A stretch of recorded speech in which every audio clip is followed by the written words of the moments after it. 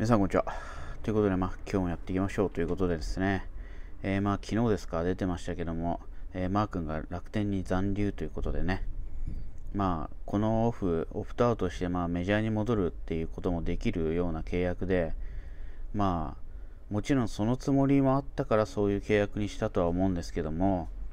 まあ、残留となってしまいまして、まあ、楽天のね、ファンの方は嬉しいと思いますけども、まあ、ヤンキースファン、そしてメジャーリーグファンとしては、また残念なことになってしまったという印象ですね。まあ、今年ね、戻ってきてくれたらいいなと、ヤンキースにね、思っていましたけども、まあね、やっぱり、ロックアウトもね、要因かっていうのも書いてありますけども、まあ、それもね、もちろん、こう、交渉する時間がまずなかった、あまり。うん。で、まあ、ロックアウトがね、始まってしまって、まあ、この後どうなるかね、いつ交渉ができるようになるのかもわからない状態で、やっぱりね、なんて言うんだろう、一応まあ楽天に契約はあって、まあそのね、契約を破棄して戻るかっていう話なので、まあ一応何もしなければそのまま残留となるわけなのでね、それをずっとこうなんか同時つかずというかね、どうするのかっていう状態で、まあ長らくね、過ごすことになってしまう、ロックアウトがね、行われてるので、で、まあ見通しも立たないしね、っていうのもあると思うんですけども、まあ個人的にはね、彼の人間性からして、今年のその結果に、まあ、自分で満足してないっていうのが一番大きな要因かなとは思うんですね。で、まあそのね、勝ち負けの数字だけ見たら、ね、よく記事に書かれてますけども、ね、マー君どうなってんだみたいなね、うん。よくあるんですけど、えー、防御率とか、まあそのクオリティスタートだとかね、ハイクオリティスタートだとか、そういうのをまあ見たらね、まあ、十分に投げたと思いますよね、今年のね。うん。ただ勝ちがついてこなかった。まあ、援護に恵まれなかったとか、まあ、要所で打たれたっていうのはあるかもしれないけども、まあ、そのデータ上ね、は、まあ、いいデータは残っているということなので、まあ、もちろんだからこそ、まあ、メジャーリーグ側もね、えー、まあ、インパクトは残しちゃって、ね、いうことで書いてあるし、まあね、健在ぶりもね、見せたとかね、書いてあるし、それはやっぱり向こうはそういうデータをね、重視するからであって、まあやっぱり日本のこう、ただ、ぽーっと見てる感じからすると、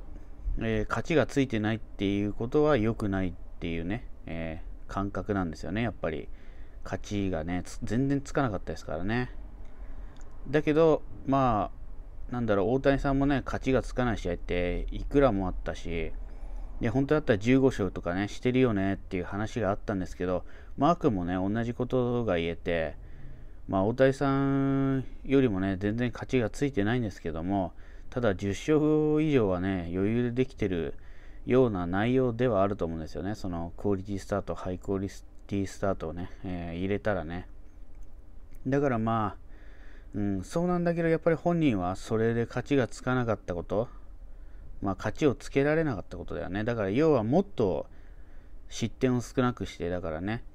クオリティスタートしてんだけど、まあ、3点以下とかじゃなくて1点で抑えるとかね、その辺を目指してたんだろうなと思うし、まあ、あとチームをね、その日本一ってところに、えー、行かせるためにまあ戻ってきたっていうものもあるしね、まあ、だからそれを達成できなかったっていうところで、まあ、もう1年いるっていう感じなのかなっていうのはね、うん、だから彼の性格上からしてね、だ結局、去年だってね、去年こう戻るってことになって、あ、今年か。去年決めたんでしたっけな。今年になってから決めたんだっけ。まあ、どっちか忘れちゃったんですけど、まあ、今シーズン戻るっていうことになったのだって、やっぱり彼の人間性からの、えー、っていうところだよね。まあ、コロナのね、影響もあったけども、ただまあ、契約は向こうにいればね、待ってればもらえたわけですよ、10億とかね。だからそれを取らないでまあ戻ってきたっていうのはやっぱりそういう人間性があるからだし、い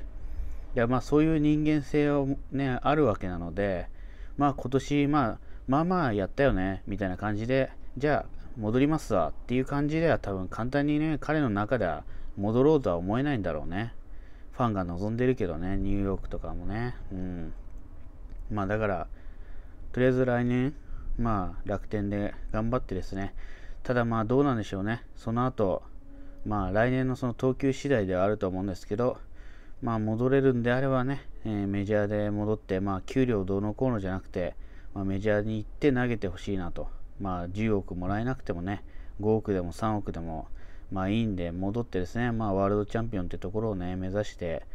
まあやってほしいなっていうのが、まあ、マー君ファンとしての思い、あとヤンキースでね、ずっと投げてくれたっていうのはあるしね。だからその辺はね、うん、ちょっと残念なんだけど、まあ、来年ね、残留するということなので、まあ、ね、日本一になれば、まあ優勝、日本一っていうところがなればね、戻りやすいかなって、彼もね、うん、思うので、まあそこがね、えー、達成できればいいなと思いますね。そしてマリナーズが、えー、ケテル・マーテをね、興味示していると。DJ ピータースですね。えー、まあ、ドジャースのプロスペクトで、まあ、ドジャースから出て、えー、テキサスでね、えー、やって、まあ、結構打ったりしてましたけども、結局ね、ああいう選手でもね、KBO ということで、まあ、メジャーじゃなくてね、え韓国行くよという感じのようですね。でやっぱりね、メジャーに上がって、そのままいてプレーするっていうのがね、どれだけ大変なことか、まあメジャーに上がるだけでも大変なんですけども、上がってから、えー、メジャーにね、とどまるっていうことがどれだけ大変かということですね。こういうね、非常に期待された選手ですら、まあ、そのまま残ってね、ずっといられないわけですからね、やっぱり難しいなというね、話ですね。そしてヤンキースのね、えー、途中ね、出てたギッテンス、パワーマシーンみたいなね、選手ですけども、まあ、彼好きだったんだけどね、えー、まあ日本に来るような感じらしいです。楽天かなっていうことでね、まあずいぶん前に出てたんですけども、まあその時はですね、まあエンゼルスの、えー、るネタがありすぎましたので、まあ採用されなかったんですけども、個人的にはね、まあ日本で見れるのも嬉しいかなっていう感じがありまして、まあね、パワーがすごいんでね、うん。えー、マイナーでかなりホームラン打ってるし、まあメジャーではやっぱり苦しんだんですけどもね、まあでも、うん、期待できるのかなっていうのはありますので、まあ、ちょっと楽しみな選手かなということでね、楽天におそらく行くような感じなので、まあ、楽天ファンの方はね、楽しみにしていただければと思います。えー、そしてですね、ちょっとまあ、ね、このところネタはね、えー、移籍ネタとか、まあ、FA ネタとかなくなってしまったんですけども、えー、コメントでですね、えなぜね、MLB の年俸は高いのかっていう話でね、うん、でまあ NPB の場合ね、1球団ね30何億とかね、42億か高くてね、そんぐらいだと思うんですけど、まあ、メジャーなんか1人でそんぐらいもらっちゃってるよねっていう選手はいると思うんですよ。で、なぜ、なぜ高いかって言ってね、まあ、ね、調べてもらえばいいんですけど、正確にはね、ただ僕のね、思ってることというか、まあ、簡潔にね、えー、シンプルに言うとこんな感じかなっていう感じで、まあね、まあ、MLB の、平均年俸えメジャーリーガーの平均が4億8000万ということで、まあ、約5億ですよね。で、NPB、日本は3800万ということで、まあ、かなり違うよねということで、まあ、10倍以上違うということなんですかね。で、まあ、なぜかっていうと、まあ、まず、あのね、そのマーケットの大きさが違うよねってことで、まあ、人口とか国土もね、違うし、ということで、まあ、シンプルにそこがね、違うっていうののファンのね、多さえー、ファンの人数の多さですよね、がまず違うっていうのと、あとまあスポーツのマーケットの大きさが違うよねっていうので、やっぱり日本のそのスポーツビジネスっていうのはやっぱりちょっと遅れを取ってる気がするんですよね。まあフィットネスとかそういうのもね、含めて。なんで結局、うん、なんだろうな、悪い言い方するともうアメリカなんかもう何でもビジネスにしちゃってスポーツの、まあ、グッズしかり何でもかんでもね、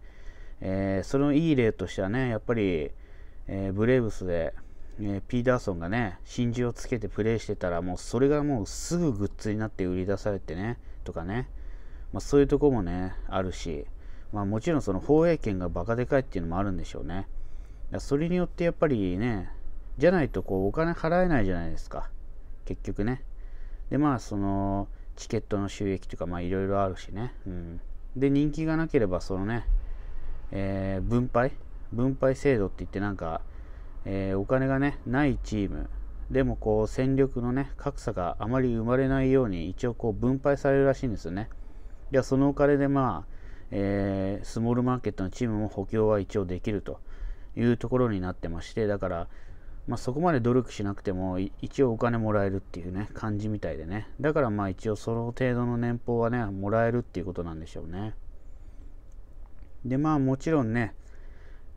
このなんだろう日本で言ったらまあ野球が一番なんだろう平均的にね、プロスポーツで、平均的にお金をもらえる、高いお金をもらえるとすると野球だと思うんですよね。サッカーってそんなに1億円とかね、バンバン出ないですよね。だからまあ日本の中で言うとまあ野球なんだけど、結局、なんだろうな、やっぱりまだこう、狭いんですよね、マーケットがね。うん。で、まあ、日本の中でこう、やっぱファンをもっと増やしていかなきゃいけないっていうのもあるだろうし、まあ野球ファンってね、あんまり増えてないし、減ってる。まあ子供がまず野球やってないっていうことなんでね。だからそういう傾向になっていっちゃってるんですけど、まあだからね、そのベイスターズなんかいい例だと思うんですけども、結構頑張ってね、いろいろやってファンを取り入れてると思うしね。だそれは結構成功してるじゃないですか。で、逆に巨人は、僕は巨人ファンなんで、まあ、アンチじゃないですよ。でも悪いと、悪いことを言うと、まあ逆に巨人はあんまりこう、そういう目新しい進歩がないというか、まあ何し何もしなくてもチケットは売れるんでね、うん、まあ取れないですから、だからまあそういう面では、うん、巨人ファンだけど言わしてもらうとやっぱあぐらをかいてる感はあるかなとは思いますね。だからそういうところでまあいろいろもうちょっとやるべきことはあるし、あと、グッズですよね。そのやっぱりそういうところのね収益っていうのも大事だと思うんですけど、まあ、メジャーなんかこう今年はね大谷さんが活躍したので、まあ、その折れたバットとかねユニフォームとか、えー、試合で着たのとかあの MLB の公式のところのオークションでね出されましたけど、まあ、日本もねたまにこうチャリティーでよくやってるんだけどまあやっぱりいまいちねそんなに数は多く出さないじゃないですか。だかもうちょっとそういうねメモラビリアっていうんですけどもねそこら辺の、えー、ものもねまあ多分楽天とか売ってるのかな。なんかそんな聞いたことあるんですけど、まあ、そういう面でももうちょっとね多く通に売るようにねしたしていけばもうちょっとファンも増えるしなんか親しみが持てるんじゃないかなっていうのとあと巨人なんかその他の球団はねあのトレカのサインカードっていうのはね現役選手のサインが入ったトレカが出るんですけど巨人だけ現役選手のサインって入ってないんですよね。だからそういうとこもちょっと改善してほしいなって思うしまあその辺もねちょっと取りこぼしが結構あると思うんですよね。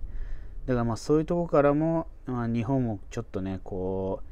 うもうちょっと、うん、グッズとかそういうメモラビリア系も力を入れていった方がいいしまあそこはまだ、えー、ビジネスとしてねチャンスがあるんじゃないかなってずっと思ってるので、まあ、誰かねやれやれそうな方いたらねやってほしいなと思いますけども。でまああとはねただそう言ってもですね、まあ、日本のそのチケット代ってねそんなに高くないと思うんですよ。まあわかんないけど、東京ドームで、まあ、6000円だよね、S 席とかだったらね。もうちょっといい席もあるけど、まあ普通の S 席で6000円とかだと思うんですよ。だから2人で行ったら1万ちょっととかね。で、行けると思うんですけど、まあこれはね、ニューヨークに限っての話なんですけど、ヤンキースタジアムなんか同じぐらいの席行ったら、まあ3万はかかるんですよ、1人ね。だ結局まあそういう風にもなっちゃうんだよね。で、もうちょっといい前の方の席行くともう5万とかね、もうちょっと行っちゃったりとかね、するので、まあ、だから、選手の給料もでかいっていうのもあるけど、そうすると多分、チケット代とかもね、でかくなっていくのは必然的なのかなっていうのもあるし、だそうなってくるとね、まあ、何がいいかってね、分かんなくなっちゃうよね。だから日本もそのマーケットがでかくなって選手の給料がバンバン上がってってチケット代も上がってったら見に行きづらくなるじゃないですか。それは嫌だよねっていうのもあるしね。うん。まあだから、なぜ高いかっていうと、やっぱりそういうね、放映権、そしてまあチケット代も高いっていうのもあるし、まあマーケットもね、全然ね、大きさが違うっていうのもあるし、で、これでもまあメジャーはね、野球のそのアメリカのね、メジャーの人気っていうのは落ちてるっていう方らしいんですけど、まあ、今年はね、大谷さんのおかげで上がったんですけど、でもこれだけのこの大きなお金が動くわけで、やっぱりそのアメリカのスポーツ産業っていうのはね、すごいんだなっていうことで、まあ、野球バスケ、アメフト、ホッケーとかっていうのがね、もう、すべてね、において人気がありますから、だから野球以外の方がまあ大きなマーケットでもあったりするのでね。で、まあ、プラスでサッカーもね、まあやってますしね。だからまあ、そういうなんだろうな、もう元々の規模が違うから、全然給料も違うしっていうことしか、シンプルに言うとそれしかないかなという感じですね。まあ、シンプルに言うって言いながら、まあ、8分近く語っちゃってるんでね、申し訳ないんですけども、まあそういうことかなという感じで今日は終わりたいと思います。ご視聴いただきありがとうございました。チャンネル登録、高評価、Twitter フォロー、コメントよろしくお願いします。では終わります。えー、ちょっとね、雑談また入れときますけども、えー、まあ最近ちょっとね、ゴルフ練習また行き始めてるんですけどもね、えー、この前一人で行ったら、え後ろの人がまあ初心者だったのかな。もうずっとね、右に飛んで、まあ、シャンクじゃない、シャンクなのかな？わかんないんだけど、ずっと右に飛ばして打ってんですよね。で、まあ、それはいいんですよ。まあ、練習してね、頑張ってるなって思って。そしたら、最後の方にですね、えー、ユーティリティかなんかをね、打ち始めて、まあ、ティーアップして打ってるんですけど、こう打っててね、その真上の天井に当たったんですよね。で、びっくりして、で、もうその後ね、こっち飛んでくんじゃないかと思ってね、怖くてね、えー、ヒヤヒヤしながらやってましたけども、まあ、なかなかね、その天井って分かります？自分が打ってる上のとこですよ。うん、そこにどうやったら当たるのかなって思うけどね、うん、当たってちょっとびっくりしたという話でした。ご視聴いただきありがとうございました。